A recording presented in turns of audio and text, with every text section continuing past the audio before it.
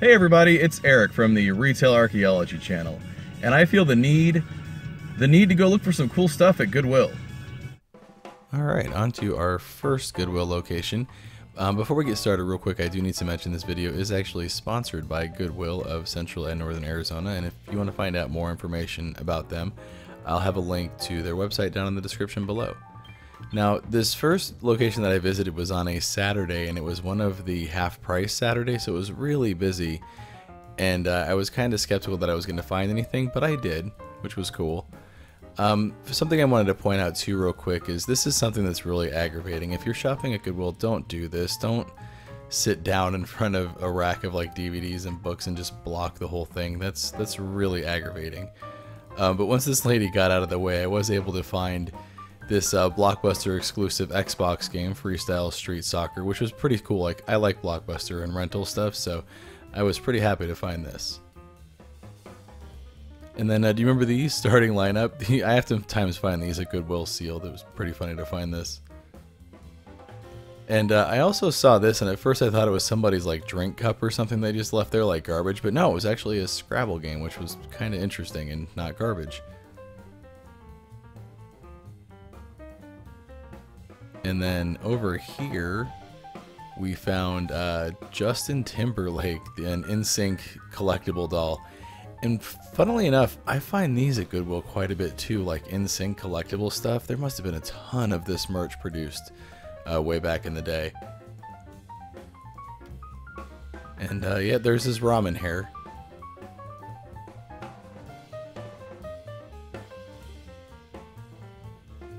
And here's something else interesting I found. This seemed to be some sort of cassette tape duplicator.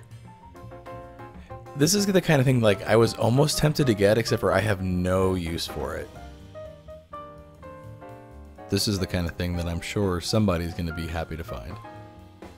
Now on to the second Goodwill location, and this is actually one that I don't go to a lot. But uh, right in the case, I saw some interesting things. There was a, a, Nintendo Wii there, but not one that I need to have three of those already laying around. Um, however, they did have this PS1 console, and I was tempted to get that, but um, it didn't have the power cable, so I just left it. I did, however, find Heavy Gear for the PC, which I didn't have and was interested in getting, so I grabbed that.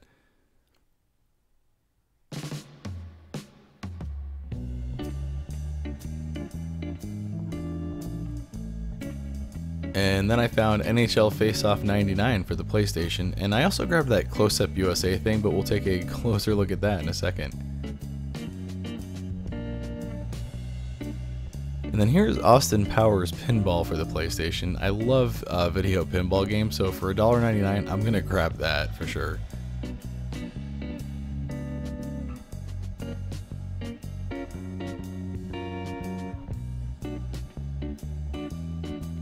Always like to be really thorough and look through all the CDs, even at the Goodwills that usually do a pretty good job of keeping the video games separated, because I still sometimes find stuff in here. It always pays to be really thorough when you're thrifting. For example, look what I found here. Vagrant Story for the PlayStation 1. This is a game I've had my eye on for for a while and uh, it's only $1.99, which is a really good deal for that game, even if it is only just the disc. So definitely going to pick that up as well. Here's some more games over with the DVDs.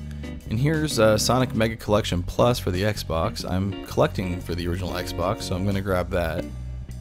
And uh, here's uh, Oddworld Munch's Odyssey for the Xbox. That's an Xbox exclusive that I don't have, so I'm going to grab it as well.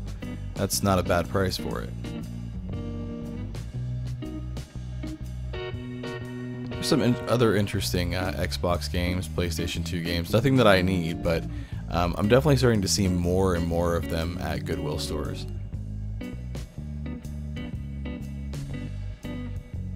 Now here's a closer look at that map thing that I was talking about earlier.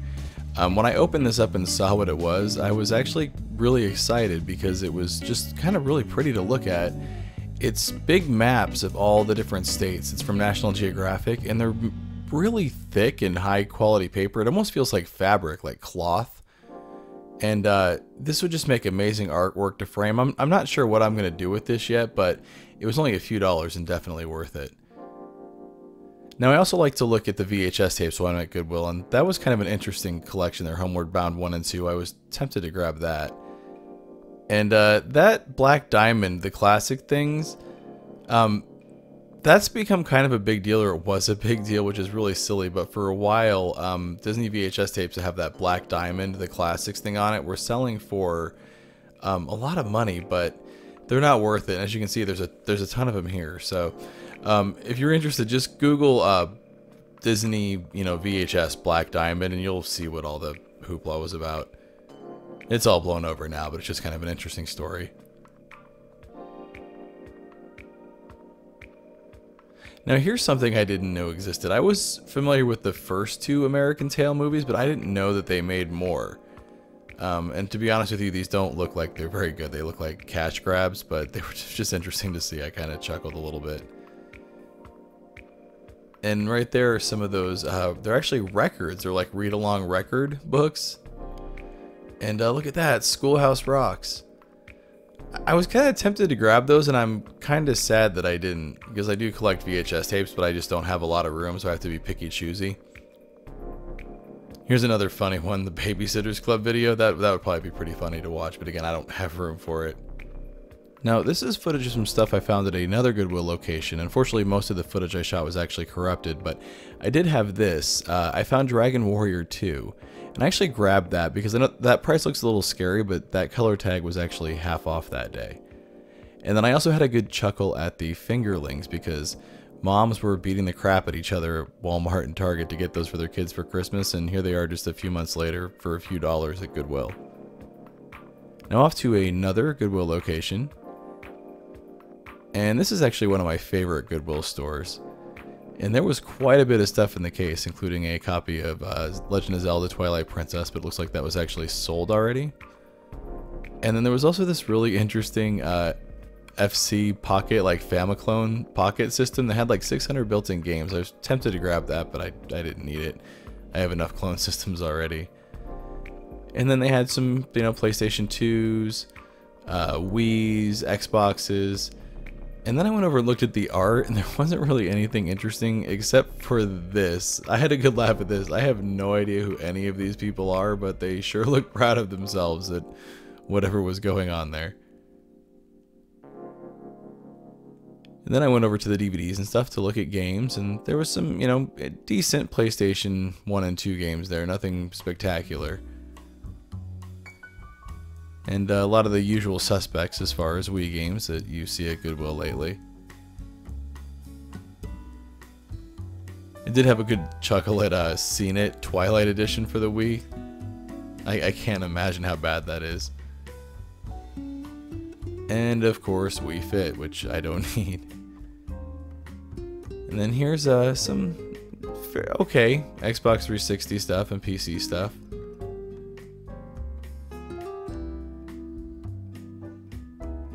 And then lots of um, older, like early 2000s PC games and stuff, but nothing I really needed. But I do um, like a lot of this stuff, and I do have a lot of it in my collection, which is why I didn't need any of this. And there's Far Cry 2.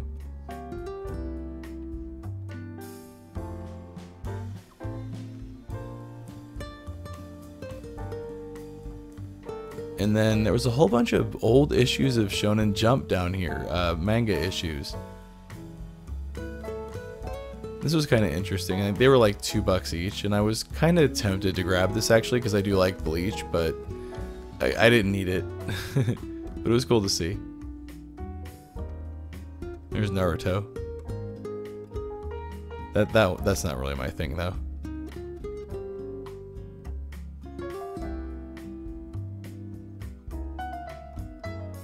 And again, gotta check out the VHS tapes.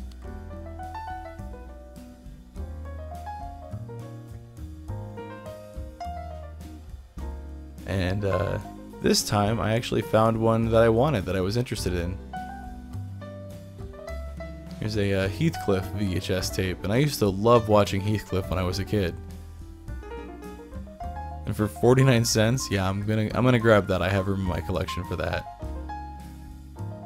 And then here's something else that we see at Goodwill quite frequently: the uh, Wii Sports Pack stuff. They must have made those in the billions, it seems like.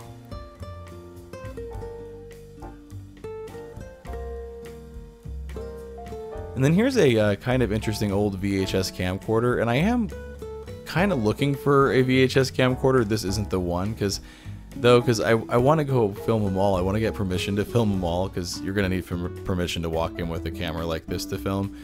But I want to film one on VHS, so um, hopefully I'll find one one day. And uh, here's a big old joystick, the F-15E Firehawk. That thing is huge. I don't need any more joysticks, but I love seeing this kind of stuff too. And it's uh, it's from Suncom. I have a couple of Suncom joysticks in my collection. This thing's pretty heavy. Oh, and then this thing, this receiver. This is another one of those like tempted to get it but don't need it. But look at this thing, man. It's got switches and dials on it, and they're all super satisfying to like switch and turn, turn and dial. Actually, I do like Panasonic stuff too, and this seemed like it was in, in reasonably good condition. And then right next to it was this uh, Panasonic uh, like tape player thing. Again, something I was super tempted to get, but I, I don't need another portable tape player. But this thing was like big and bulky. It was like a big brick. And in really good shape too. I love old electronics like this. This is one of the reasons why I go to Goodwill is just to look at old stuff like this, even if I don't buy it. That's some cool stuff right there. And then uh, here's another really cool stereo system. This is a Sony like hi-fi stack, and there's a there's a receiver here, uh, graphic equalizer, dual tape deck. I think it's a five disc CD changer.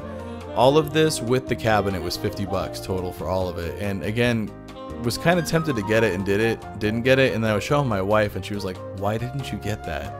So I, I may go back and uh, you know see if it's there because it's pretty cool, and if it works, I think it'd be worth 50 bucks. Now here's the uh, last Goodwill location for this video.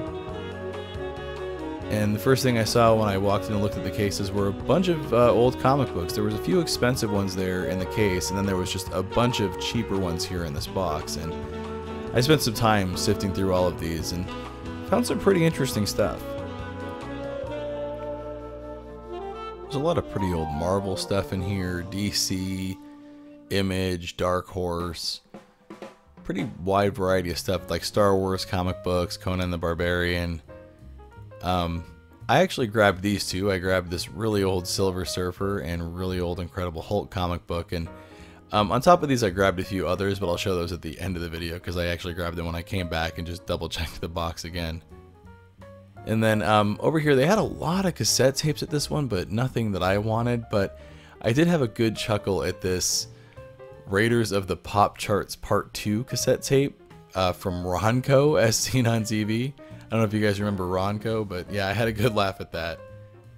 And then I also found this uh, Joe Satriani surfing with the alien, and from what I could gather, this was um, some sort of Silver Surfer a music CD that Joe Satriani did. I haven't had a chance to listen to this yet, but I, I, will give it a listen. I actually did grab it. Seemed to be a lot of Silver Surfer stuff there between this and the comic books and stuff. And like I said, I'm a fan of Silver Surfer. And then over onto the uh, video games. Again, we got a lot of the usual suspects as far as Wii games and Xbox 360 games go.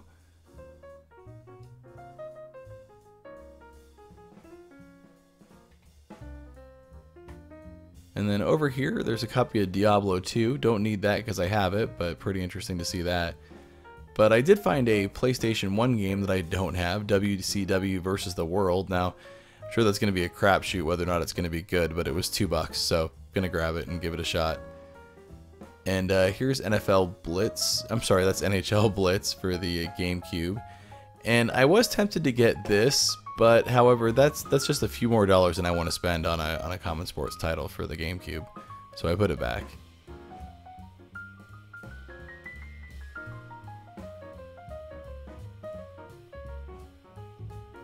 Starting to see a lot of PlayStation 3 stuff um, here at Goodwill now.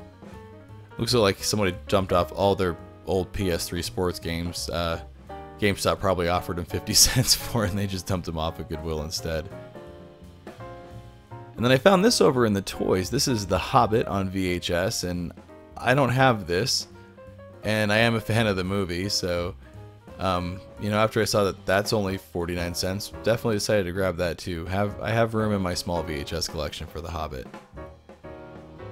And then here's something interesting, a Sony Laserlink, and this looks like it's something that you hook to your Handycam and it lets you wirelessly beam the footage over to a Sony television.